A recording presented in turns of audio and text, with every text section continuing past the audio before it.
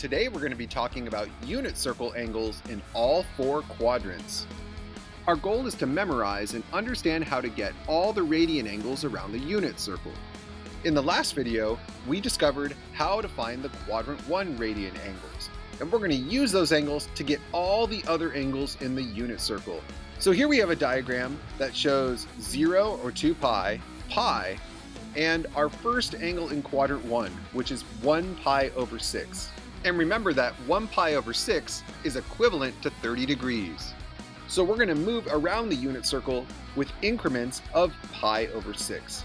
Following that pattern, our next angle would be 2 pi over 6, and then 3 pi over 6, 4 pi over 6, 5 pi over 6, 6 pi over 6, 7 pi over 6, 8 pi over 6, 9 pi over 6, 10 pi over 6, 11 pi over 6, and finally 12 pi over 6.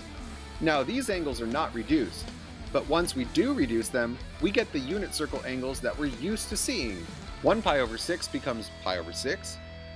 2 pi over 6 reduces to pi over 3. 3 pi over 6 reduces to pi over 2. 4 pi over 6 reduces to 2 pi over 3. 5 pi over 6 stays the same. 6 pi over 6 reduces to pi. 7 pi over 6 stays the same. 8 pi over 6 reduces to 4 pi over 3. 9 pi over 6 reduces to 3 pi over 2, 10 pi over 6 reduces to 5 pi over 3, 11 pi over 6 stays the same, and 12 pi over 6 reduces to 2 pi. So now I hope you see that just by using that 1 pi over 6 angle, we were almost able to complete the entire unit circle, and now we're just missing 4 angles. So let's continue with the red angle in quadrant 1, 1 pi over 4. So what we're going to do is we're going to go around the unit circle in increments of pi over 4 to fill in the gaps.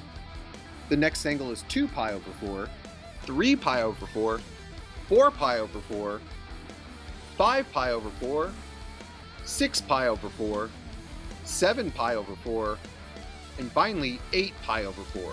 And again, these aren't reduced, but after reducing them, we get the pi over 4 angles that we're used to seeing in the unit circle. Let's go through the reducing process.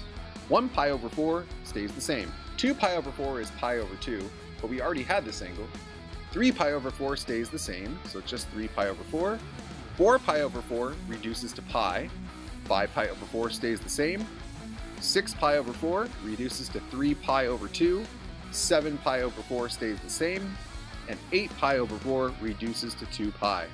Here are the angles that we created just by using an increment of pi over 4. Now we can combine these angles with the angles that we created from the pi over 6 increment, and we're done! That's it! That's the entire unit circle. You can build it from just pi over 6 and pi over 4.